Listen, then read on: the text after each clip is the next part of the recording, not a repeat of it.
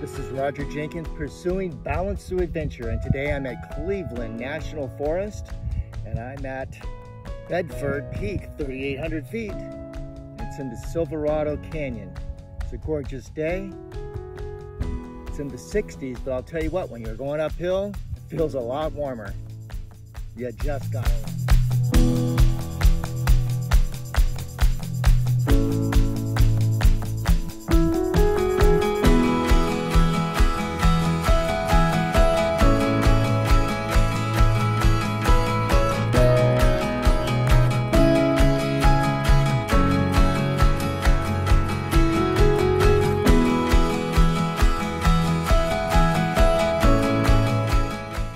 gotta top of Bald Peak, just under 4,000 feet in the Cleveland National Forest.